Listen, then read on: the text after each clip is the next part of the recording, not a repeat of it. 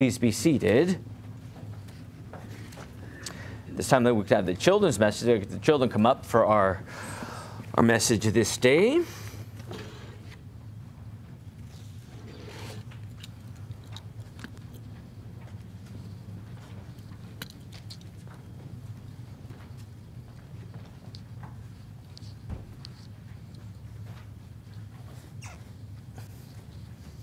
All right, everyone, how are we doing? Good to see everyone. Now today I have a, um, a black car. Oh, not yet, not yet. Later. Soon, soon, soon. But it is for you. I brought it specially picked for you.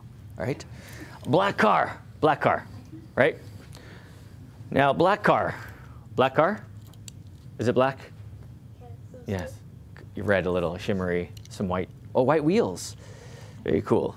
Um, well, uh, you know, what is it about a black? Where does a black car drive? Where does it drive? On the road. road. Now, I know um, we're not there yet in this world, but if a black car was driving in the air, would it fly? No. What eventually would happen? It would. Oh. Oh, I caught it. Without even looking. It drops, right? Now, again, again, what happens? If I drop this car, if I let go of this car, what happens? It will drop. Now, what if I drop it again? Will it float? Are you sure? It might. Will it float? Now, how do we know that it won't float? Thank you. Gravity, right? And gravity makes everything drop, right? Fall. Now, what happened in our gospel text today? You know, Jesus was doing what? Walking on water. Yeah. Now, in any other instance, what was that word you said? Gravity. Gravity. What would happen? You would fall into the water. Well, what happened that day? Did he fall in the water? No. No. Now, the question is, why did he not fall in the water? Was it because he was moving his feet so quick that he was like the Roadrunner in Looney Tunes? Have you?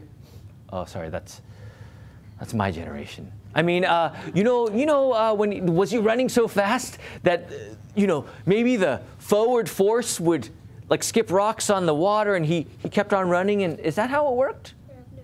Was it maybe because, I don't know, he was on an invisible surfboard? No. No? So how did he? We have, we have gravity, right? Right? Drop. But why does Jesus? How does he do those things? With God's power. Yeah, that's right. Because he is. Jesus. Yeah, he's Jesus. He's God Himself. Now he's showing the disciples that day. What does he say to them as he, as they are terrified? It's a ghost, they thought. He says, as he reached them, he says, "Take heart, it is I. Do not be Afraid. afraid." Because who is he? He is the one true God in the flesh. That not only could he walk on water, but little would they know that as they were being taught by Jesus, he would teach them what? That he would die on the cross. Now, if it was anyone else on that very cross, could they have risen from the dead by themselves? It's just like gravity. When there is death, I see I dropped it right there almost. When there is death, for, for everyone, it seems like it is the, And the end. Oh, that's right, that's truth.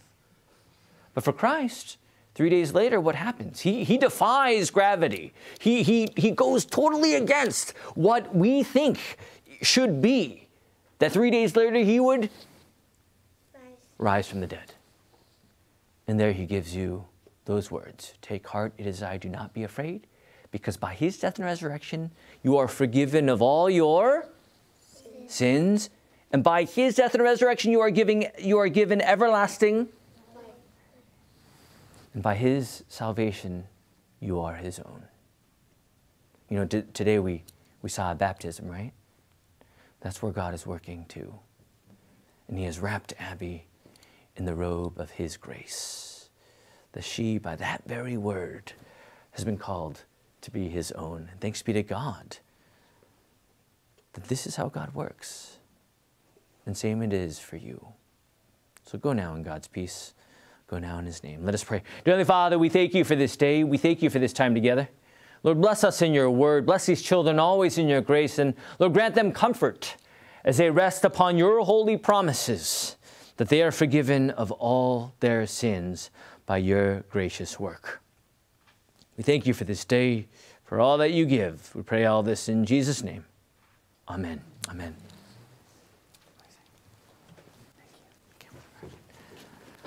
Let's continue now with our sermon hymn.